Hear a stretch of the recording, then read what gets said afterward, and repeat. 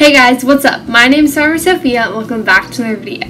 So today's video is going to be a little bit different and I'm going to be showing you some tips of how to play the Blossom Derby.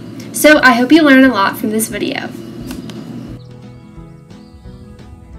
So right now I'm going to be discussing how the points work. As you see now, the Buddies task is available and is worth 350 points.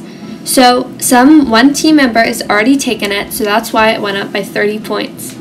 After it reaches 350, it goes up by 25 points at a total max of uh, 400.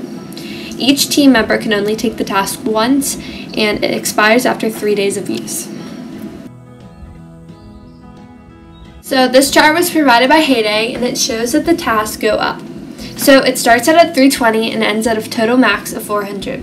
This derby is especially good for larger teams because each player can only take the task once, and if you have 30 players in a team, you can get a lot of points this way.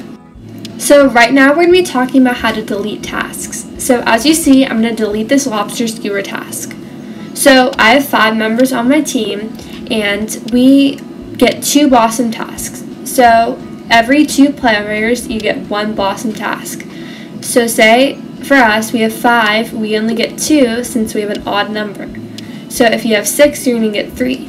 So one more example, if you have 10 members, you're going to get 5 Blossom Derby tasks. If you have 9, you're going to get 4 Blossom Derby tasks. So whenever you have an existing 2 tasks on the board, for our scenario, we're not going to get another Blossom Derby task until we delete a task. So I'm going to get a new task in 30 minutes.